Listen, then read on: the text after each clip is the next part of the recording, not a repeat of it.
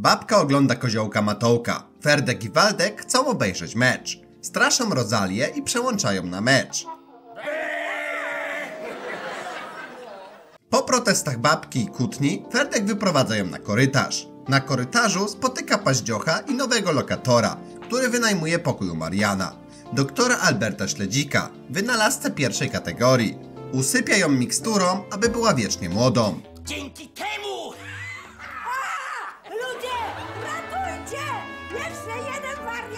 Ludzie, ra...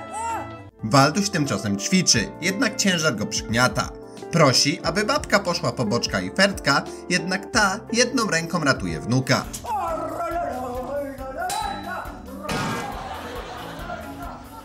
Następnie biegnie do śledzika, aby dał jej ten napój.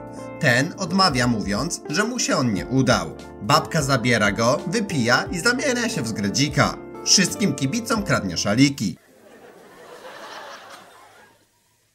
Do kiepskich przychodzi Edzio. Śledzik uciekł od paździocha, zostawił mu tylko flaszkę eliksiru. popajacował, popajacował, a później bez zapłacenia, panie, uciekł. Walduś dostaje plakat, który informuje, iż jest poszukiwany zgredzik. A wiecie panowie, że mam wrażenie, że ja już coś takiego kiedyś widziałem?